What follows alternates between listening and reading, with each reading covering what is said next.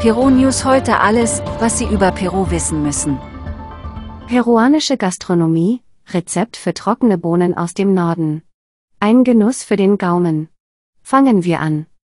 Wenn wir über die peruanische Gastronomie sprechen, sprechen wir über kulinarische Kunstwerke, denen niemand widerstehen kann. El Sico a la Nortena ist eines der Meisterwerke der Gastronomie des schönen Perus, da es aufgrund seines unbestreitbar köstlichen Geschmacks zu den erlesensten Speisen des Landes zählt, was auch daran zu erkennen ist, wie beliebt und konsumiert dieses Gericht ist. Seko-Eintopf ist ein Gericht arabischen Ursprungs, dessen Ursprünge bis in die Zeit der spanischen Kolonie zurückreichen. Die Spanier waren dafür verantwortlich, die Ziege in dieses Rezept einzuführen, zudem einheimische peruanische Zutaten wie Chicha de Jora, Kürbisloche, Chilischoten und andere hinzugefügt wurden. Das trockene Nordfleisch ist im Norden des Landes weit verbreitet, wo es in Provinzen wie Piura und Lambayeque auf traditionelle Weise zubereitet wird, daher der Name Nortena. Dieses Gericht reicht bis an die peruanische Küste. Zutaten für den Seco Norteno. 4 Stück Rindfleisch. 1 große Zwiebel. 1 Esslöffel gehackter Knoblauch. 2 Esslöffel gemahlene gelbe Chili. 2 Esslöffel spezielles gemahlenes Chili, Panka. Eine halbe Tasse gemahlener Koriander. Ein Kredit Kreuzkümmel. Salz nach Geschmack. Ein halber Credit Pepper. 120 Gramm geriebener Lochekürbis. Pfeffer. Öl. Zutaten für die Bohnen. 500 Gramm kanarische Bohnen. Eine Chorizo. 150 Gramm Speck. Ein Esslöffel gewürfelte Zwiebel. Eine Tomate, gewürfelt. Ein Esslöffel Oregano. Zwei gemahlene Knoblauchzehen. Ein Esslöffel Pfeffer. Pflanzenöl nach Bedarf. Salz nach Geschmack. Zubereitung des Northern Dry. Eins in einen Topf geben wir einen Spritzer Öl und lassen es erhitzen.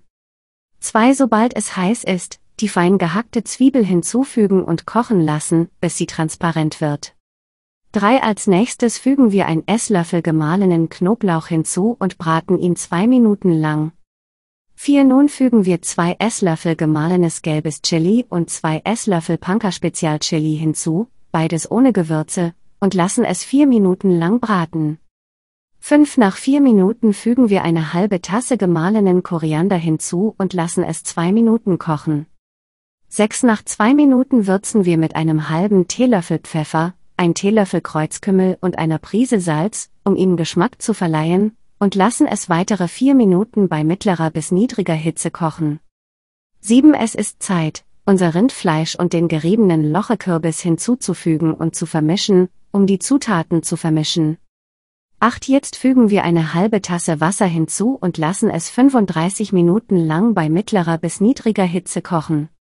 9 Nach den ersten 15 Minuten prüfen wir, ob das Salz richtig ist, und lassen es die restlichen 20 Minuten kochen. 10. Wir schalten die Küche aus. 11. Wir können unser Fleisch marinieren lassen und es mit Pfeffer, Salz und einer halben Tasse Chicha de Jora würzen.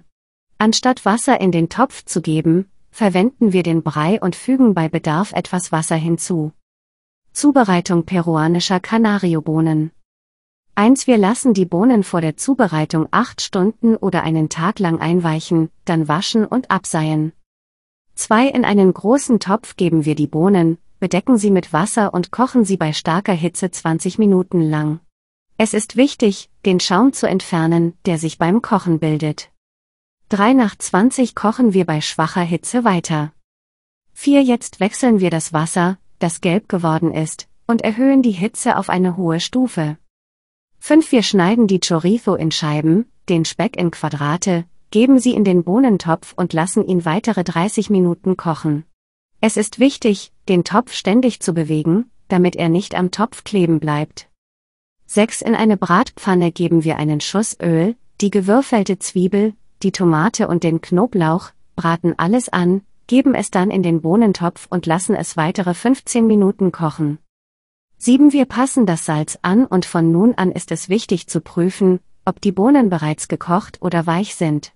Wenn ja, nehmen wir sie vom Herd, fügen den Oregano hinzu und decken den Topf ab. 8. Um die Bohnen cremiger zu machen, nehmen wir eine Tasse Bohnen, pürieren sie und geben sie in den Topf, um dem Geschmack eine größere Konsistenz zu verleihen. Jetzt geht es ans Anrichten, wir servieren eine Portion gekochten Reis, kanarische Bohnen und obendrauf geben wir unseren trockenen Nordstil mit einem Stück pro Teller dazu. Fertig, ein Gaumenschmaus.